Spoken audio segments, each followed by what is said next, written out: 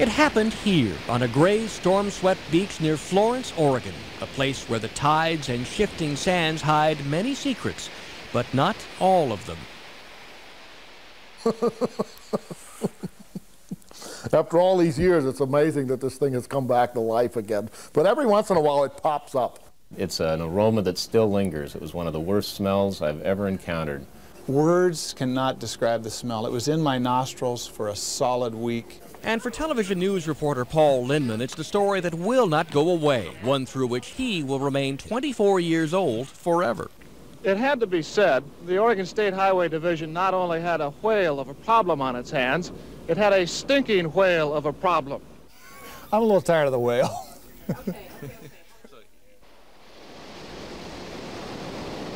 In November 1970, a 45-foot-long sperm whale died at sea and washed ashore on that very same beach near Florence. For more than a week, the eight tons of carcass remained there, rotting, while the locals tried to figure out what to do with it. They did face just one minor problem at the time. You see, it had been so long since a whale washed ashore in these parts that nobody could remember how to get rid of one. It was too big to bury. It stunk too much to cut into little pieces, and burning it was out of the question. So, in its ultimate wisdom, the Oregon Department of Highways, which had jurisdiction over this beach, decided to blow the thing up, to use dynamite. It seemed to be the best idea at the time, at least to Highway Department engineer George Thornton. As he told Linnman on that fateful day, dynamite had solved plenty of problems in the past, and he had a strategy. Well, I'm confident that it'll work. The only thing is we're not sure just exactly how much uh, explosives it'll take to disintegrate this thing so the scavengers, seagulls and crabs and whatnot can clean it up. Thornton settled on 20 cases just to be on the safe side. His crews dug holes, placing the dynamite to blow the whale bits out to sea. As they went about their business, more than 100 people turned out to watch. Oh, yeah. Um, there were picnics. Uh, there were entire families. This is going to be fun. Let's let's go see the whale. Only one man expressed concern. I'm thinking we got big trouble here. 20 cases of dynamite.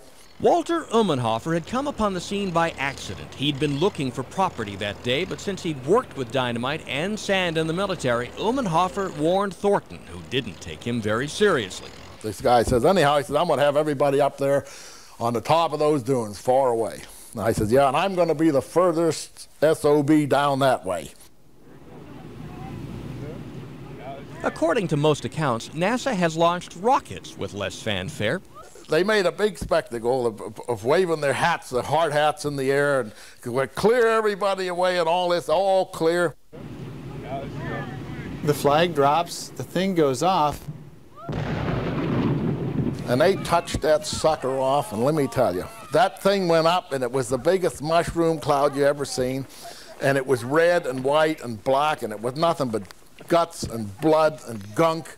Carried by a wind, the cloud moved inland. So everybody all of a sudden start realizing that, oh my God, here it comes in this mist. We were covered, we were permeated with redness and the smell. That would be the least of their problems. Those who witnessed the explosion agree that the next few moments seemed to last forever. Individual descriptions vary, but it soon became apparent that what should have been little pieces of whale turned out to be big ones. And this stuff starts hitting the ground. Boom, boom, boom, boom, boom. And all of a sudden you realize, my God, I could be killed by whale blubber here and I'm watching this one piece. There's a big piece up there. It's kind of flubbering and floating around. And we ran. We literally ran. And it just absolutely stopped. And it came flat down. And kapow! Right on top of Walter Umenhofer's 1969 Oldsmobile. It was a neat car. I just got it from Dunham's, and it was a Regency.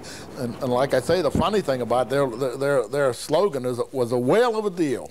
Well, I got a hell of a whale of a deal. Within two days, the state of Oregon wrote Walter Umenhofer a check for the full retail value of his car. Public Affairs, this is Ed. Hello. 25 years later, a description of the whale event found its way onto the internet. Some of the readers get angry, and then they call Ed Shopes at Oregon's Department of Transportation. They think it just happened. But despite all attempts by those involved, curiosity about the exploding whale remains as overwhelming as the carcass.